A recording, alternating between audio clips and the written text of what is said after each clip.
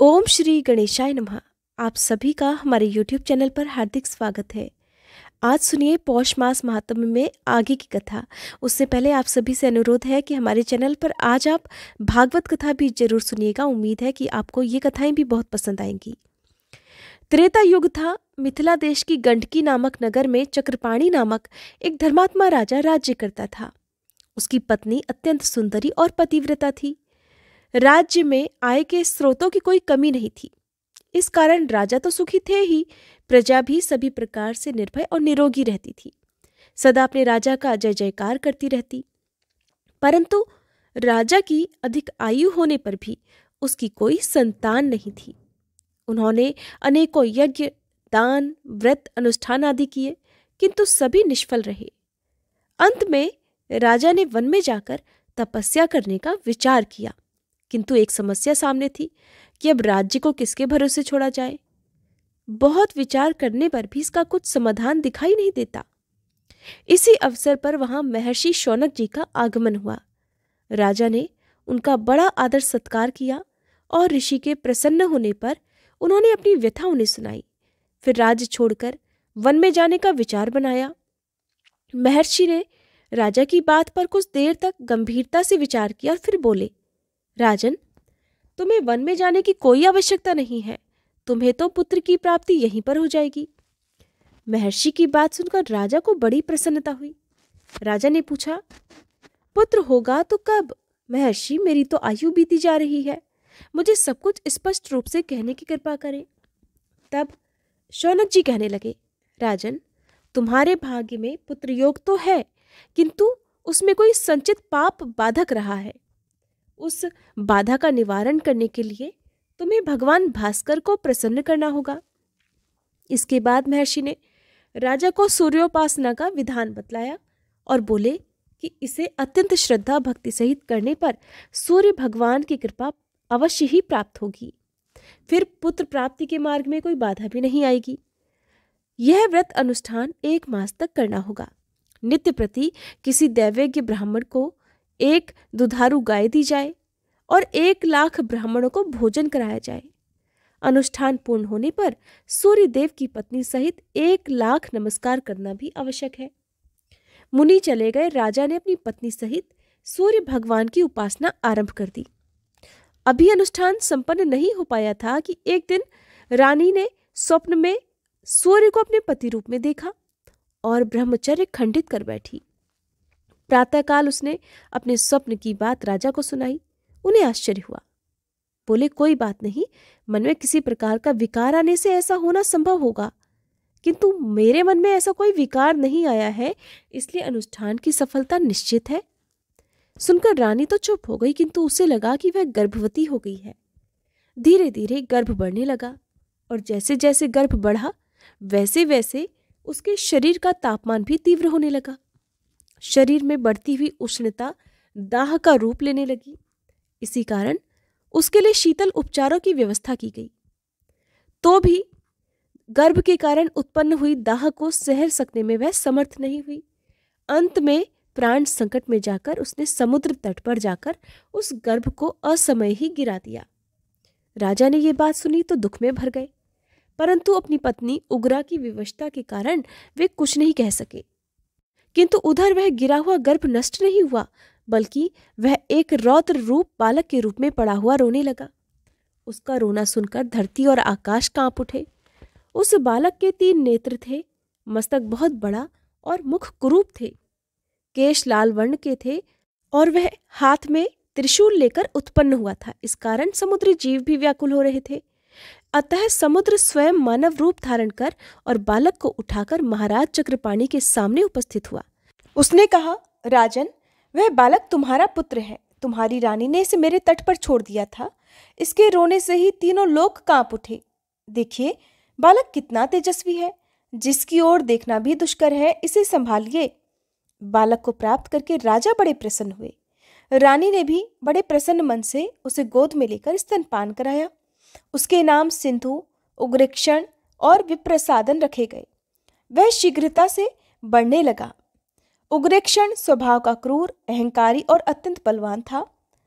बचपन से ही वह मनुष्य से तो क्या हाथियों से टक्कर लेने वाला हो गया। उसने छोटी सी आयु में ही न जाने कितने हाथी आदि केवल मुक्के के प्रहार से ही धाराशायी कर दिए, न जाने कितने वृक्ष गिरा दिए। उसके प्रबल पराक्रम को देखकर माता को बड़ा हर्ष होता था।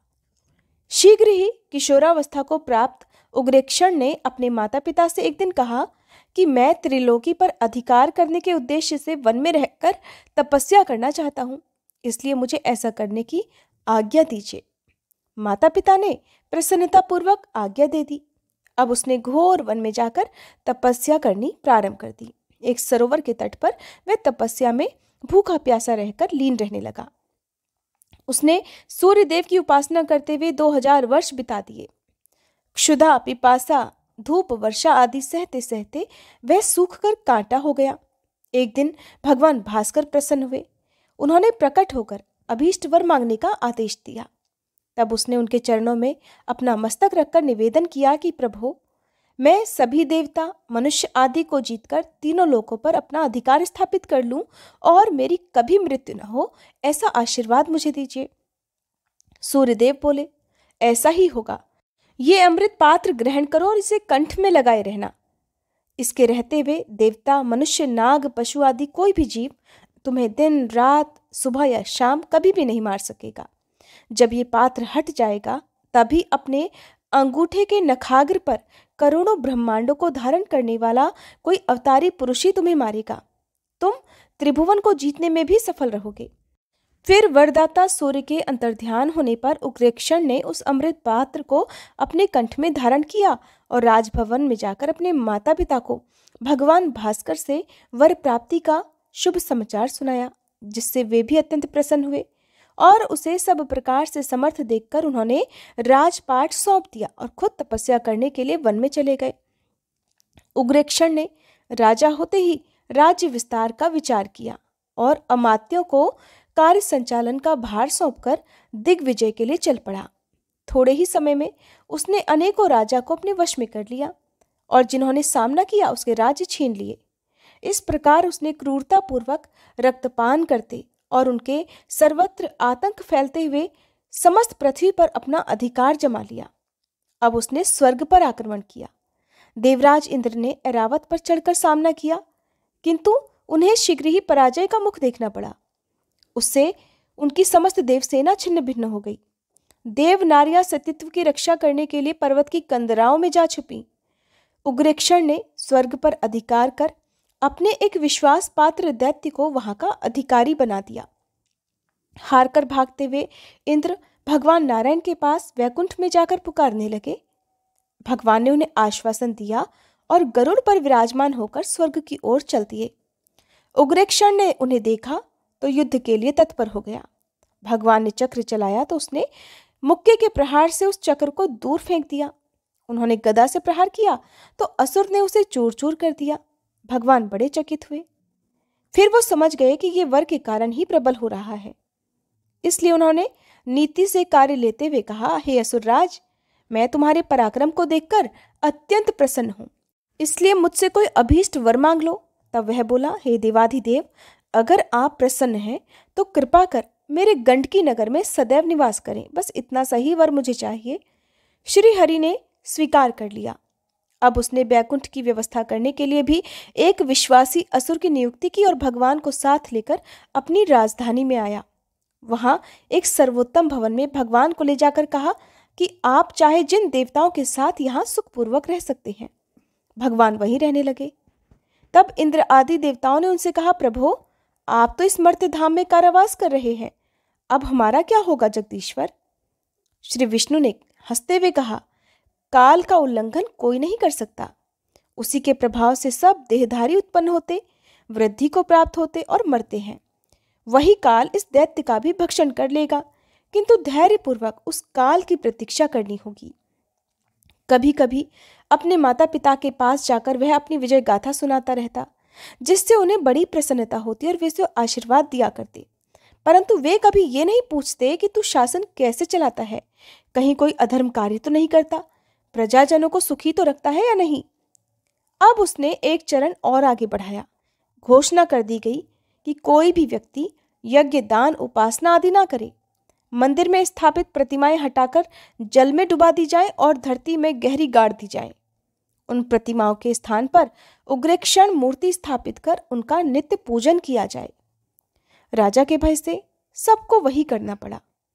जो विद्वान और धर्मज्ञ पुरुष योगी, तपस्वी आदि उस प्रकार के अत्याचार को नहीं सहते थे, वे नगर छोड़कर जंगल में चले गए। चारों ओर असुरों का ज़ोर बढ़ गया। मांस मदिरा, सेवन, सतीत्वनाश, चोरी, झूठ, छल, कपट आदि की घटनाएँ चारों ओर होने लगी। इस प्रकार जहाँ देखो वहीं आसुरी कर्म ही दिखाई देते थे। उग्रेक्षण के अत्याचारों से पीड़ित हुए देवगण एक गुप्त स्थान पर बैठकर राक्षस गण के पराभव का उपाय सोचने लगे। उस समय देवगुरु बृहस्पति ने बताया कि भगवान गजानन का पूजन करो, वे समस्त संकटों को नष्ट करने में समर्थ हैं। संसार के सर्ग, पालन और लय में वे ही परमात्मा का एकमात्र कारण है। इस दैत्य का विनाश भी वही कर सकते हैं। उन विघ्नेश्वर विनायक को माघ मास की चतुर्थी तिथि बहुत प्रिय है। उस दिन जो उनका पूजन करता है, वही संकटों से मुक्त हो जाता है। देवताओं ने पूछा, उनका पूजन किस प्रकार किया जाए गुरुदेव? अगर पूरा बताने की कृपा करें तो वैसा ही करने को हम तत्पर हों। बृहस्पति जी बोले, अब माघ मास का ही आरंभ है। कृष्ण पक्ष के इस मंगलवार को ही चतुर्थी तिथि आ रही है। उसी दिन उनका षोडशोपचार पूजन करते हुए उनकी स्तुति करें तो वे करुणा सिंधु उस दैत्य को शीघ्र ही मार डालेंगे। तब तुम अपने पद को भी पुनः प्राप्त कर सकोगे। देवगुरु बृहस्पति जी के आदेशानुसार माघ कृष्ण चतुर्थी को देवताओं ने संकष्टी चतुर्थी का व्रत आरंभ किया। भगवान गणपति की प्रतिमा स्थापित कर षोडशोपचार पूजन करने के बाद भावपूर्ण हृदय से उनकी स्तुति की कि हे दीनों के स्वामी, हे दया सिंधु, हे ज्ञान गम्य आपको नमस्कार है। हे मायातीत, भक्तों के अभीष्ट पूर्ण करने वाले आपको बार बार नमस्कार है। देवगणों की स्तुति से प्रसन्न हुए वरद विनायक भगवान प्रकट हो गए। वे सिंहों के समान प्रतीत होने वाले मूषक पर सवार और अद्भुत वस्त्र आभूषणों से सुशोभित हो रहे थे। उन्होंने कहा, हे देवगणों, तुम्हारे द्वारा किए गए संकष्टी व्रत से मैं बहुत संतुष्ट हूँ। बोलो, क्या चाहते हो? वही मुझसे ले लो। देवतागण कहने लगे, प्रभु हम निश्चय ही अत्यंत सौभाग्यशाली हैं जो केवल इस व्रत के प्रभाव से ही आपसे साक्षात दर्शन कर रहे हैं। हे नाथ, उग्रेक्षण नामक असुरराज ने हमारा राज्य छीन लिया और भगवान विष्णु को भी कैद कर लिया है। हे दयालु, हम अपना खोया हुआ वैभव पुनः शीघ्र ही प्राप्त कर लें, ऐसी कृपा कीजिए। तब गणनायक ने आश्वासन दिया, देवताओं, मैं शीघ्र ही मयूरेश्वर नाम से अवतार धारण कर तुम्हारी कामनाएँ पूर्ण करूँगा। और उग्रेशन का अब विनाश शीघ्र ही समझो। ऐसा कहकर भगवान विनायक अंतर ध्यान हो गए। इधर देवताओं के पराभव का समाचार मिलने पर भगवान शंकर और पार्वती जी और सात कोटि गणों के साथ कैलाश छोड़कर त्रिसंध्या क्षेत्र में निवास करने लगे। वहाँ देवराज के भय से संतरस्त हुए गौतम आदि अनेक ऋषि महर्षि पहले से ही निवास कर रहे थे। वहीं भगवान शंकर ने भी तपस्या आरंभ कर दी। एक दिन समय प्राप्त होने पर देवी पार्वती ने अपने नाथ से पूछा, प्रभो, आप तो स्वयं ही सृष्टि, स्थिति और प्रलय के एकमात्र कारण हैं। फिर आप किसकी प्रसन्नता के लिए तपस्या कर रहे हैं? कृपया ये रहस्य मुझे भी बताइए। तब शिवजी बोले, प्रिय, अनंत कर्म वाले जिन भगवान के प्रत्येक रोम में असंख्य ब्रह्मांड रहते हैं, वे समस्त गुणों के ईश्वर गुणेश ही मेरे आराध्य हैं। अनेक व्यक्ति उन्हीं गुणेश को गणेश भी कहते हैं। उनकी प्रसन्नता प्राप्ति के लिए तपस्या करना आवश्यक होता है। गौरी ने तपस्या की विधि पूछी तो शिवजी ने उन्हें गणेश जी के एकाक्षरी मंत्र अर्थात गंग का उपदेश कर उपासना की विधि बताई। तब देवी भी प्रसन्न मन से शिवजी की आज्ञा लेकर तपस्या के लिए शेख नादरी पर्वत पर चली गई, जहाँ उन्होंने बारह वर्ष तक घोर तप किया। तभी उन्होंने भगवान गणेश के दर्शन किए। उनका अद्भुत रूप था। दस भुजाएँ, गजवदन, मस्तक पर चंद्रमा, मध्य भाग में नारायण मुख, दक्षिण भाग में शिवमुख और वाम भाग में ब्रह्म मुख दिखाई देता था। वे शेषनाग और पद्मासन लगाए हुए विराजमान थे।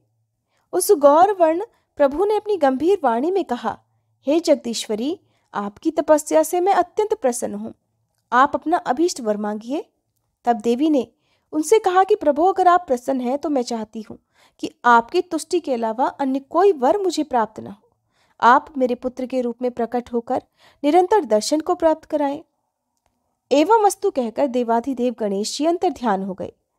फिर देवी ने वहाँ एक सुंदर मंदिर की स्थापना करके गणेश जी की मूर्ति स्थापित की और उसका नाम रखा गिरिजात्मज और फिर वे भगवान के पास चली गईं और उन्हें अपने वर प्राप्ति की बात बताई। सुनकर शिवजी बोले, देवी भगवान तुम्हारे पुत्र रूप से अवतार लेकर दैत्य उग्रेक्षण और उसके साथियों को मारकर पृथ्वी का भार उतारेंगे और इंद्रादि लोकपालों को उनके अधिकारों की पुनः प्राप्ति कराएँगे। इसके बाद उस क्षेत्र में देवी पार्वती जी का तप चर्चा का विषय बन गया। धीरे धीरे भाद्रपद शुक्ल चतुर्थी का आगमन हुआ। उस दिन चंद्रवार, स्वाति नक्षत्र, सिंह लगन और पाँच शुभ लग्नों का साथ था।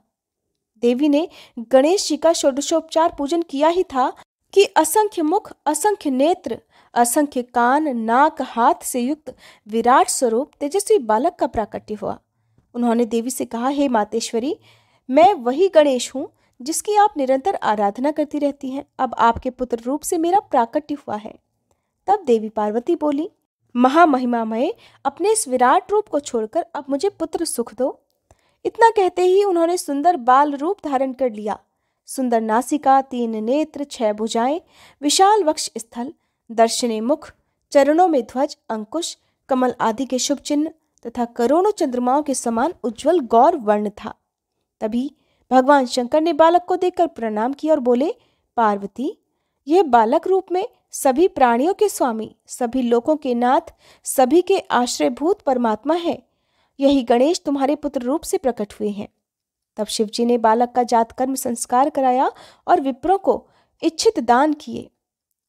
देवी ने उन्हें स्तनपान कराया। समस्त क्षेत्र में ज्योतिषी गण उपस्थित हुए। उन्होंने बालक का नाम विघ्नहरण, विनायक, गुणेश और गणेश रखा और कहा कि ये बालक सभी शुभ कर्मों में प्रथम पूजनीय होगा। इसके द्वारा दैत्यों का संहार अवश्यंभावी है। इसके आगे का वृत्तांत आप अगले अध्याय में सुनेंगे। उम्मीद करती हूँ ये वीडियो आपको पसंद आई होगी।